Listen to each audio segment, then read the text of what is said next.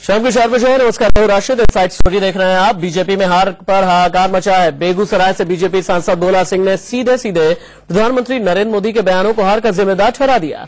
भोला सिंह ने कहा कि पीएम को किसी की बेटी पर बयान नहीं देना चाहिए था वो लालू की गुगली में फंस गए।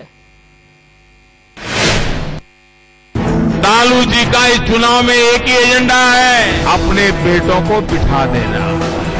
गलती से भी अगर भारतीय जनता पार्टी में हार गई बता बेटों को बिठा देना गलती से भी अगर भारतीय जनता पार्टी बिहार में हार गई बता के पाकिस्तान में जाकर चले गए बिहार में लालू नीतीश जहाँ जीत की दिवाली मना रहे हैं, वहीं हार के बाद बीजेपी ने अपने ही नेताओं के बयानों पर गुस्से के बम फूट रहे हैं। सबसे तीखा हमला बेगूसराय से बीजेपी सांसद भोला सिंह ने किया। देखिए कैसे भोला सिंह ने पीएम मोदी, अमित शाह और गिरिराज सिंह जैसे नेताओं की बयानबाजी को बीजेपी की हार का जिम्मेदार ठहरा दिया। प्रधानमंत्री को जंतर मंतर से क्या सरोकार है?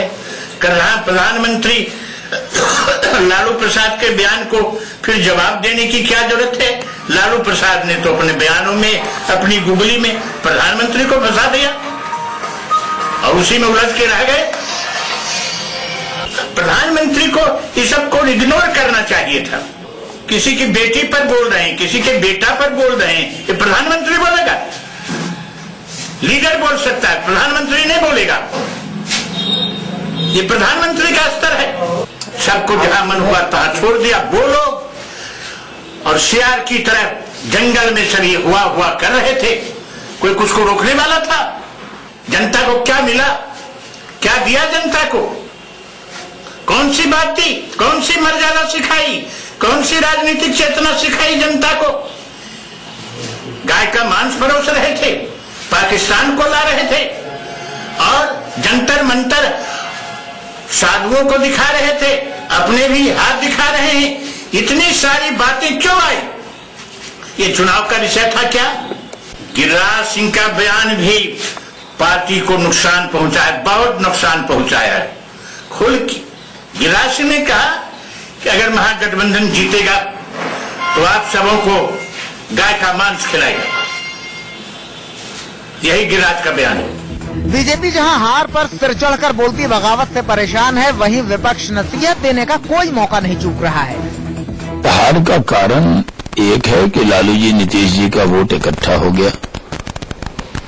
और ब्लेम करना किसी को सही नहीं है। बिहार के मानस को बहुत चोट पहुंचाई।